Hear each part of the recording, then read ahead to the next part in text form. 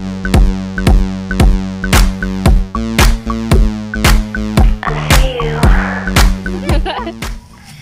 mga kabibi! Welcome po sa aming bukid! Ayan, itutur ko po kayo ngayon sa aming papasyalan.